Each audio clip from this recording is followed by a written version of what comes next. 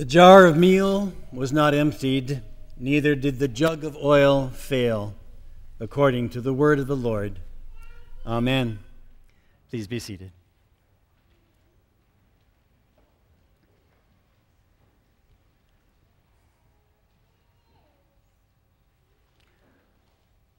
On the way back from Arizona this week, where we visited my mother and Peg's father, I w- ordered some fast food at a drive in window, and the clerk asked, You want to supersize that? For 30 cents more, I could get a whole lot more of the garbage I was ordering just to save time on the road. Are you crazy? I wanted to ask. Last Sunday morning, the Episcopal Church celebrated the installation of our new presiding bishop, Michael Curry. The expectation of any installation is always the expectation of something new. What is new about our presiding bishop is that he is crazy. And according to him, so ought we all to be crazy Christians. He said this in his sermon we have a day to remember, crazy Christians. It's not called All the Same Day, it's called All the Saints Day. Because though they were fallible and mortal and sinners like the rest of us, when push came to shove, the people we honor as saints marched to the beat of a different drummer. In their lifetimes, they made a difference for the kingdom of God. We might call the book of their stories the Chronicles of Crazy Christians. My four year old granddaughter says to me quite frequently, You are a crazy grandpa. And I am delighted to hear it. Of course, presiding Bishop Curry is encouraging us to be crazy about Jesus, like anyone might be said to be crazy about what means the most to them. It is crazy to follow one who teaches us to take crazy risks. His gospel today makes it clear that giving and serving in any capacity is sacrifice, not surplus generosity. Clearly, according to today's widow's mite story, Jesus' measurement is not how much we put in the offering plate, but how much we have left for ourselves. It is not the gift of our abundance, but the much greater abundance that we still have left for ourselves that is, according to Jesus, the problem. The widows of our first reading and of our gospel gave all they had crazy. The poor whom, we, whom I have served for most of my 40 years as a priest, the poor of El Monte, of the Altiplano of Peru, of the outskirts of Mexico City, the immigrant populations of Mesa and Flagstaff, Arizona, these poor have taught me a basic truth, one that the very poor know well. The widow's two coins weren't going to change her life. She could give her all to the temple treasury because with the coins or without them, she was still a dependent person. Even with her two coins, she couldn't eat, couldn't live, couldn't survive. Total dependence was her reality. And Jesus observed look, that crazy woman supersized her gift. To people like me, if not really wealthy, still wealthy enough to be independent, this sounds truly crazy. My money gives me independence and freedom from living like a poor widow. I like it that way, and my family likes it that way so I will not be putting my entire paycheck in the offering plate this morning. As any of us rises on the economic ladder, giving is a problem. Statistically and universally, the proportion of giving goes down, not up, when people acquire more wealth. It goes down significantly, not up when people acquire more. They have more to protect.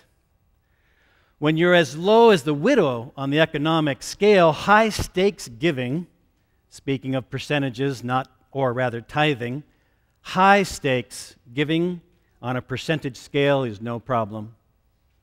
The widow was totally dependent. And that's what Jesus pulls out of her story like a pearl of great price. American culture counsels us to become like the honored scribes, whose pocketbooks are the prime source of their security. But Jesus counsels us to become like the crazy widow. We are to model our lives on one who would normally we would normally overlook.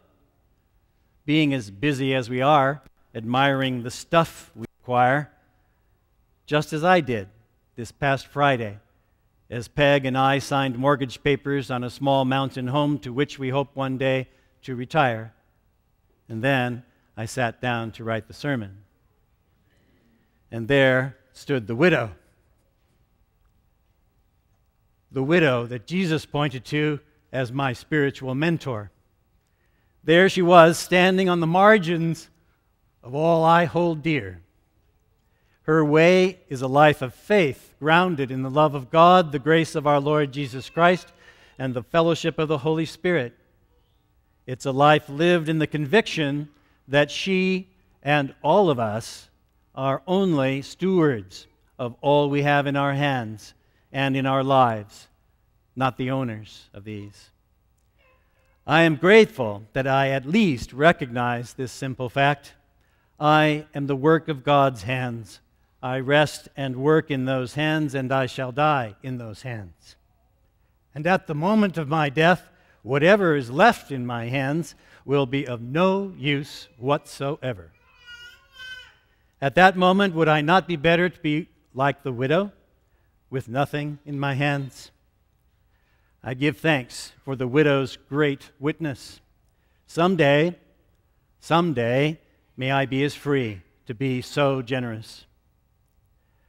I am furthermore grateful that I was baptized into the faith of my fathers and mothers from England and Ireland, France, Germany, Italy, and Switzerland. And I'm proud of the hodgepodge that represents as well. This faith is at its, at its core teaches me to be so grateful. And today it calls me to supersize my gratitude. And I am also grateful that we have these young children to welcome into the family of God this day Madison and Melina, Kathleen and Martin. I am grateful for this baptism ceremony because you see, it is baptism that makes sense of the widow's mite, that makes sense of the widow of Zarephath's empty jar and jug. Baptism speaks to mortal life, perhaps even more than what it says about eternal life. It teaches us that life is about letting go and about serving, even when we are not totally sure why or what we serve, as was the case for so many veterans whom we remember this week, but serving nonetheless. Baptism makes sense of the widow's mite because new life trumps old life. As the widow's dependence upon God trumps the pride and self reliance of the Pharisees, of me, of all of us who have had much more to give, but have kept way much more than we ever gave. You see, I may not be ready for the widow's generosity, but I am grateful to begin to understand. It's crazy to do what the widow did. Only real, real dependence upon a higher power than self makes sense of it. It's risky to do what our veterans of all the ages have done. Only real focus upon a higher value than self makes sense of that. May we who are baptized, and we who have the example of the widows today, and we who celebrate the land of the free on Veterans Day weekend, may we be this day truly grateful. And may we, one day, one day hence, may we be truly generous. Crazy Christians. May we approach the widow's generosity before the day comes when we roll up to the drive in window at the pearly gates, where an angel will ask about the gift of our life. Do you want to supersize that? Are you crazy? The jar of meal was not emptied, nor did the jug of oil fail, according to the word of the Lord. Amen.